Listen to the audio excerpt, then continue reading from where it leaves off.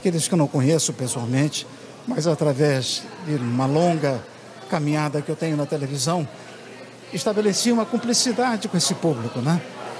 E falo aqui com esses jovens, aqui temos jovens eh, médicos, temos pessoas envolvidas com a saúde pública, que esses profissionais, todos os que estão lá nos hospitais, nas, na linha de frente, têm que receber nosso aplauso, nosso reconhecimento.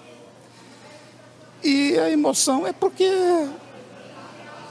daqui a pouco a gente vai estabelecer uma vida nova, não um novo normal. Eu prefiro dizer, vamos voltar ao normal. Não é? E atentos, eu acho que isso serviu com uma lição profunda de um pesadelo que nos deu, sem dúvida, momentos de reflexão muito importantes.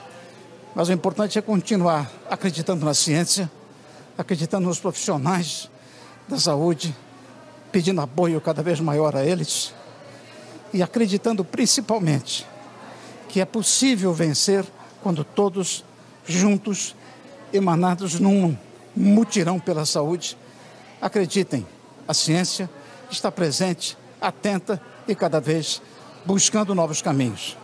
Parabéns a todos, vamos em frente. Eu comecei bem meu sábado, e continuarei bem. Agora vou ligar para a família.